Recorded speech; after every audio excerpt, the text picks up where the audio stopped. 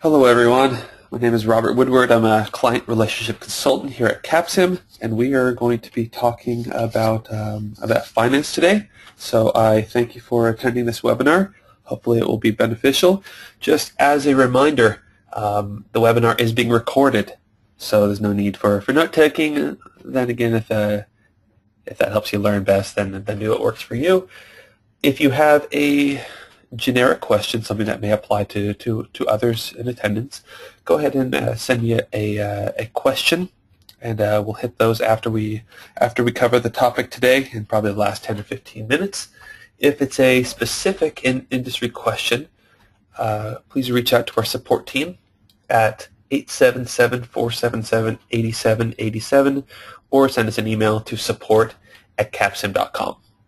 Okay, so on that note, I'm starting from my login screen and I'm going to log in and we're going to talk about finance. Now, I am in, I believe, the fifth round, so your situation may be different. Um, I've set it up so a, a, number of different situations that you may come across um, are occurring. Okay, so we're gonna we're gonna go ahead and launch everything. Now there are R and D, marketing, and production decisions in there. Okay, so with that with that in mind, it's essentially ready to for us to finance everything. Okay. Now, one thing to keep in mind is that in later rounds, if you have the TQM module available to you, I recommend you probably do that one before you do some financing. Reason being is it's going to change possibly your forecast numbers as well as the cost of producing um, your your uh, your product with, with that with that being said, it's going to significantly affect your your financial decisions. So maybe you need to do some financing for it. Maybe the benefits of TQM are sufficient to where you don't need to. Okay, but either way, I recommend finance always be the last one. Okay, that way you are not restricting your decisions based upon your financing. Um, you instead are doing the financing to manage the, the, the company and make sure that the company doesn't run out of cash while it is implementing its strategy. Okay. Now, of course, if you get to the finance and things just don't quite work out, then that's a good communication um, opportunity to discuss with the, the other departments. All right, so here is what I'm looking at. All right, so up top we have any investments that are carrying over from production. So I see 92,600,000 for total investment. Right? That is plant and equipment that I am purchasing. If I am selling anything, then I'm going to see that here in red. So in other words, if this was 92 million and this was 25 million, then I would subtract the 25 from the 92 because I don't need to finance that amount. Okay, because that is coming from the selling of assets I already have. Okay, now this is the section where we are dealing with um, financing through through equity, okay, or the retirement of, of uh, some equity that we have. So, for example, this is the number of shares we have. Of course, that's a thousand, so we have 3.3 million shares. We have stock price. We got our current earnings per share based upon our forecast. Okay, and just as a reminder, everything you see here, cash position, earnings per share, um, those are performance based 100% on your forecast. So of course, make sure that the forecasting is a that it's in there in place and there's not uh, it's not being based upon a, a, benchmark prediction, which we've covered in the past, where it's not a, a, a good indicator. Okay, now you're also given what you can raise through selling of stock. Now, just as a one thing to keep in mind is that you have these information bubbles. Okay, you can only sell a certain amount, and there are some brokerage fees on selling of the stock. Okay, so you can research and find out what those brokerage fees are when you when you decide to sell that. So, if I were to say I'm going to spend, I'm going to raise 20 million in stock, you're not going to get a full 20 million here. You're going to get a portion of it. You're going to get the majority, but you are losing a bit. Okay. Or if you're in the situation where you don't need to do um, to do a lot of financing, perhaps your company is, is, is running well. You have all the products you want. you have sufficient automations for those, and you have excess cash, this is a great time to manage your idle assets, okay? And to buy some stock back. You can even offer dividends, okay? Both of them are going to have an impact on your stock price. So the higher the stock price, the better. Um, and it helps you, it helps prevent you from having too much assets that's just sitting there, okay? Because that, that, that looks pretty poor um, to, to your future uh, to those who are looking into investing into your company. Okay, so this is where you are essentially running to the bank, you know, talking to your personal banker and saying, I need a loan. I just need something that's going to satisfy me for the year.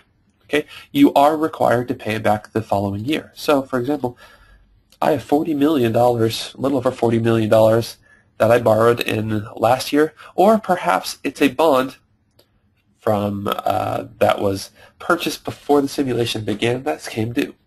Okay, that's all going to be lumped in there if one is um, required to pay one back. Okay, now with here, you're not given exactly the amount you could borrow. Okay, per se, like max stock or max issue for, for the long term. However, you just type in an insanely large number and it's going to correct it saying, hey, this is this is your number, which is helpful in case you do need to do need to borrow that. Okay. Now over here we got our long-term debt.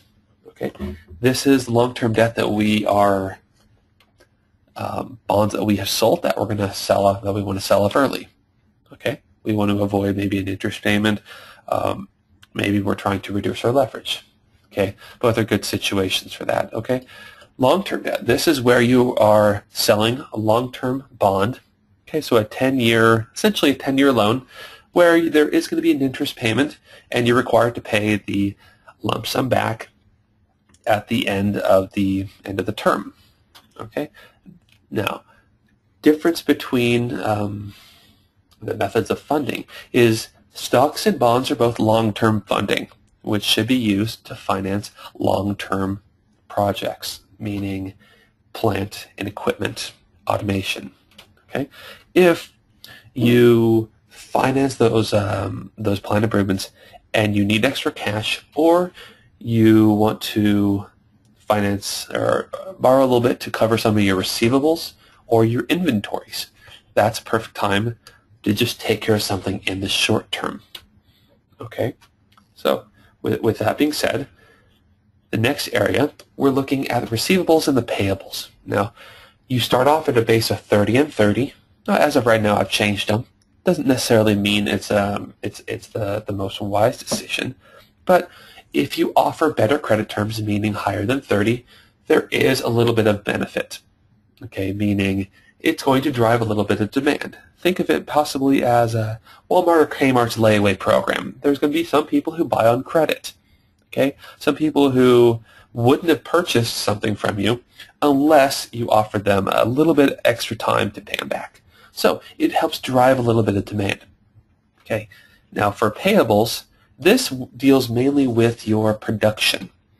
Okay, if you reduce the days pay your suppliers faster, then there's less chance of any parts deliveries being late. And with that being said, instead of having your laborers waiting a little bit to, to do the work, now they have uh, the opportunity to, to not wait, meaning they're going to get the full output out. So as you play around with this, this will affect your forecast. This will affect the benchmark predictions in, in, in a sense, in a little bit. Okay, This will affect um, your production after adjustment number on, on your production. So go and play with those numbers. Look in your online guide because it's going to give you uh, instructions of how those affect you. Of course, how it relates to the simulation. Now, of course, you pay people you pay people faster and you give people more time to pay you back. That's eating into your cash flows. That's cash that's no that's not there yet. So there are downsides to changing those. Okay, now with the current situation that I'm in, I am investing $92.6 million. Okay, about all I could possibly possibly raise. I'm being aggressive and trying to grow my company. Now, with that in mind, my job is to try to finance than 92 million. Okay, so if I were to fund the full amount through stock, okay, and I'm going to fund the majority of it through debt. Okay, so I'm covering 80, 92, right about 92 million. Okay, give me one moment while I recalculate.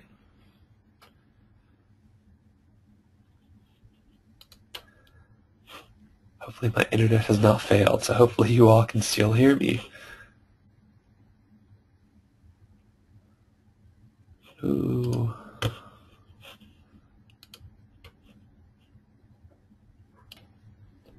All right, there we are. Okay, so back to where we were. I am spending the 37 million in stock, and I am essentially spending the whole amount in bonds. Okay, so I am fully financing my planned improvements, which is which is good. However, I'm still having a cash flow issue. Okay, so this is a situation where if my financing is fully covering my investments, then there appears to be a issue on operations. So maybe I am just not as profitable as, as what I what I what I was last year. Maybe it's because I got a current debt that's coming due. Okay, maybe um, I just got too much inventory. Okay, so there's there's numerous reasons, but in this situation, assuming your forecast was how you want it, okay, you're confident in what they do. This is a situation where you take out a current debt. Okay, now you could cover 100% of it. Okay, now of course there are fees, so you're going to lose a little bit. Okay, now in addition, you want to give yourself a little bit of a cash cushion. It's going to alleviate a lot of your risk of receiving an emergency loan. It's important that you're communicating with your marketing manager so you know if your forecast that's provided is best case, worst case, or maybe even just the actual. Okay, with it being an actual, you cover about five or so percent of your sales as cash, it's going to alleviate some of your risk. So, for example, 200 million, 206, million, 5% of that would be higher over 10 million. So that would be an appropriate cash cushion based upon your expected forecast.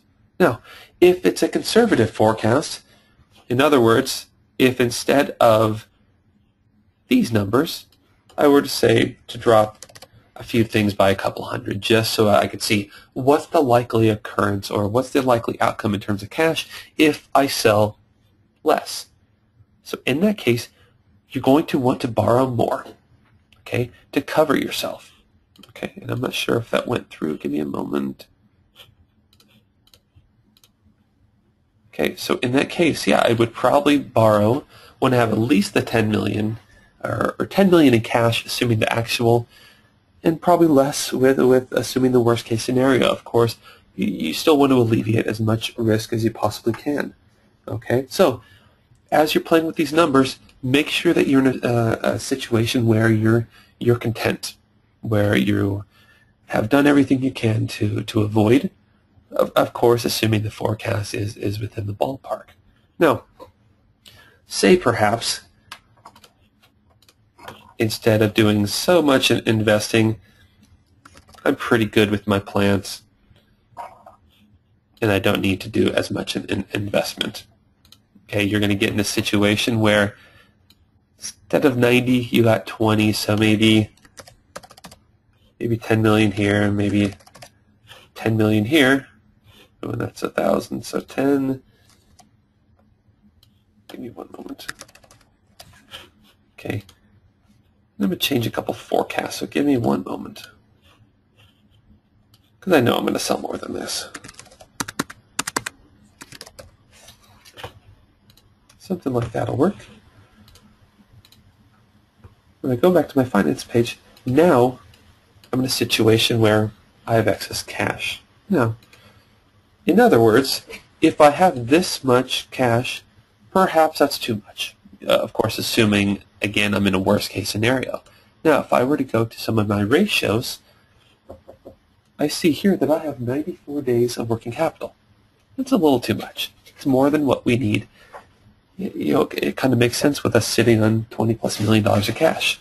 So with that in mind, this is a good opportunity to give back to some of your investors or to just perhaps buy back some of the stock that you've sold or maybe just don't do all the funding. Okay, because there are situations where you don't need to fund 100% of it. Okay, so if that being said, I still have $15 million in cash, perhaps I want to buy back a little stock. Now, one thing to keep in mind here is that when you do that, it's going to have a positive effect on your earnings per share, which is going to correlate to an increase in your stock price.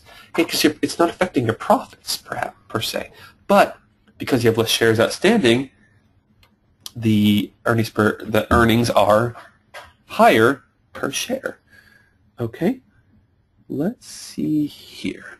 Let's open up to a few more few questions before I go too long.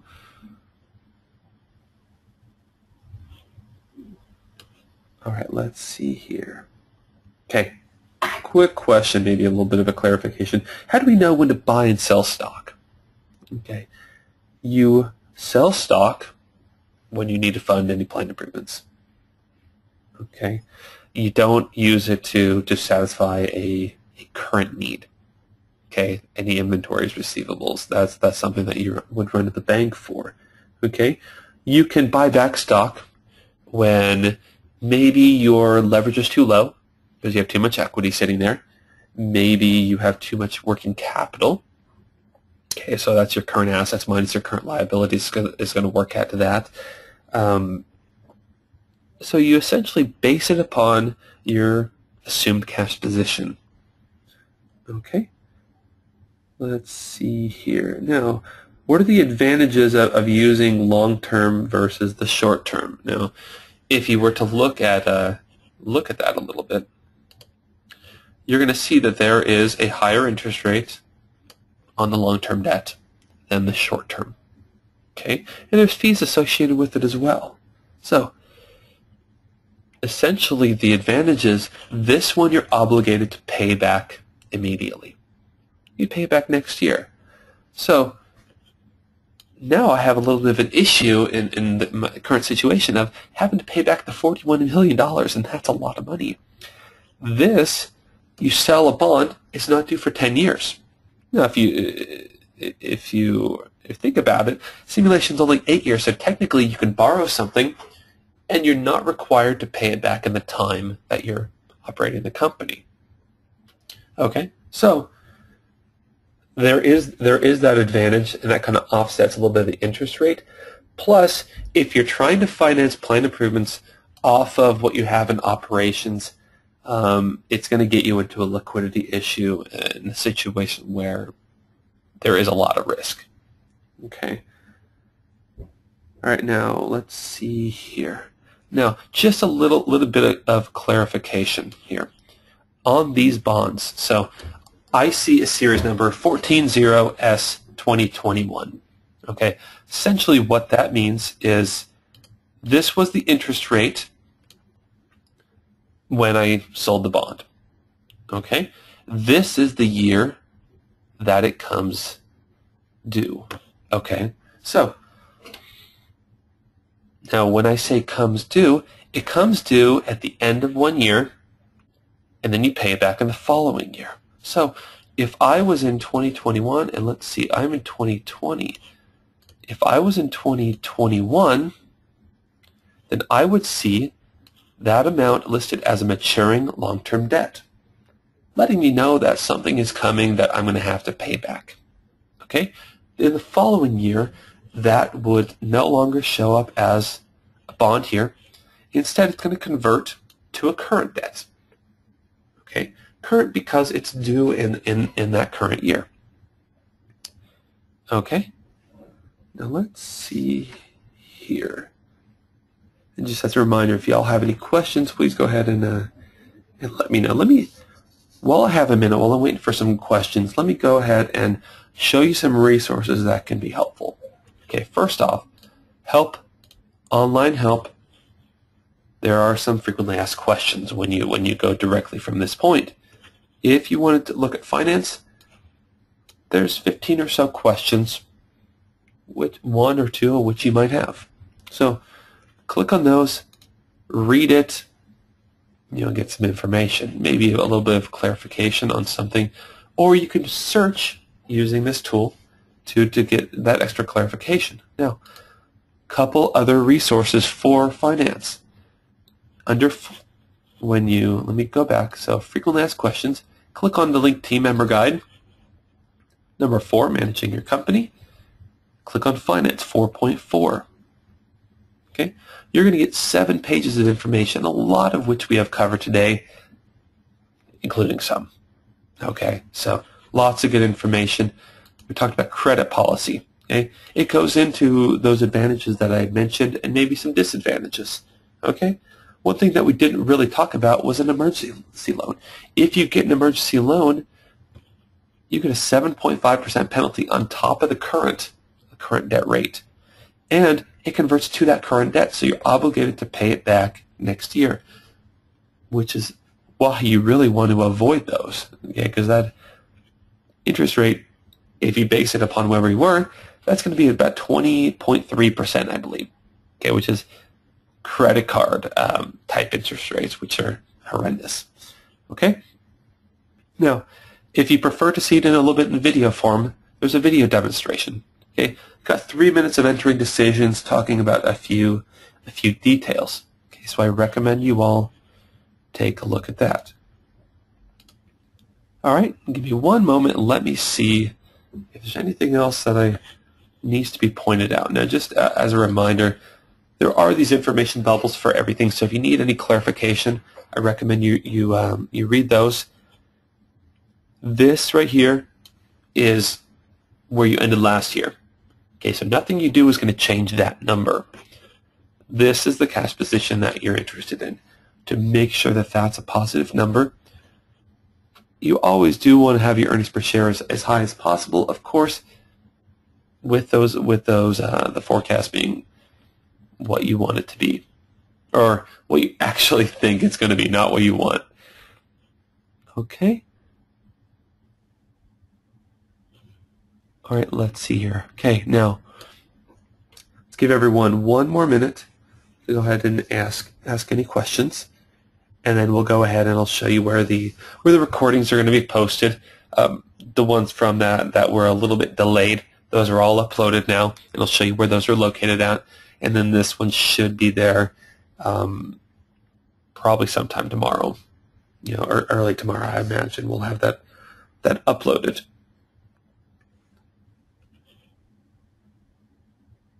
All right, one question just came in. Is a rule of thumb for ratio of long-term in shares sold? Um, it's going to depend somewhat on your strategy if you look at the basic strategies, some mention a leverage ratio of about 1.5 to 2. Some strategies say 2 to 2.5. Okay. If your goal is to have the be on the lower range of that, maybe towards 1.5, 1.8, somewhere in that lower half, then you're going to need to lean a little bit more to the equity. Okay, if you are doing some heavy investment. Okay, if you are leaning more towards the, the 2 to the 2.5 range, then you're probably going to have a little bit more, more debt. Now, of course, it's going to depend upon your stock price.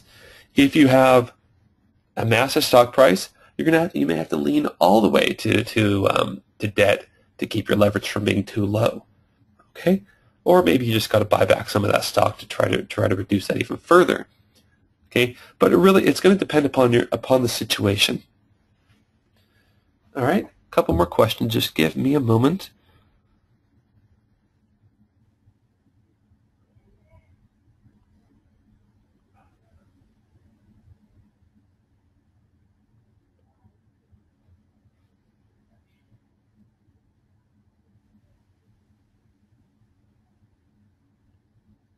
All right, uh, question by Maria. Um, that seems like kind of a more of a, a unique situation specific to, to yours. Uh, there, there's so many things that could be going on there. Um, maybe not necessarily all related to financing. Um, so send send email uh, support support at capsim.com a quick email asking that question and see if someone can uh, look at your uh, look at your spreadsheet and see if they can isolate really the the, co- the cause of everything. Okay, a couple more questions.